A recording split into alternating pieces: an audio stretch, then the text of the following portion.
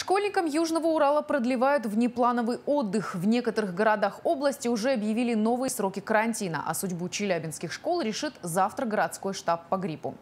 В Златоусте карантин продлили до 21 февраля включительно. Всего там и в Кусинском районе с начала месяца зафиксировали около 4,5 тысяч случаев ОРВИ. И около 2700 из них у детей. Преподаватели продолжают дистанционное обучение. В школах Кыштыма карантин также продлен. За прошлую неделю там заболели почти 400 детей.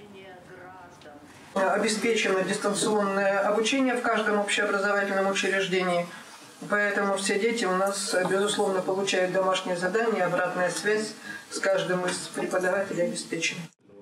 И если в Златоусте и Кыштыме новые сроки каникул для школьников уже определились, то в Челябинске решение о продлении карантина завтра примет городской штаб по гриппу.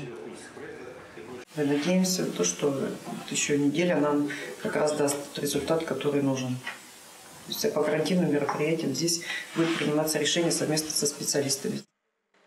Закончился карантин у школьников Миаса и Коркинского района. Уже завтра ученики снова сядут за парты. Тем временем сейчас ситуация по заболеванию гриппом и ОРВИ по-прежнему оценивают как эпидемическую.